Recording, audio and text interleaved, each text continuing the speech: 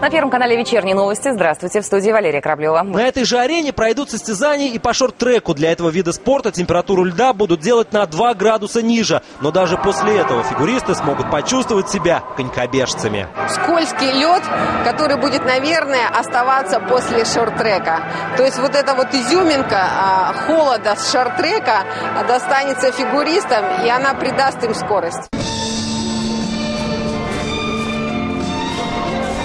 А это уже Олимпийский парк Адлер-Арена. Профессионалы постоянно измеряют температуру льда. В крытом конькобежном центре последние штрихи вносят под музыку Мариконы, Вивальди и Бетховена.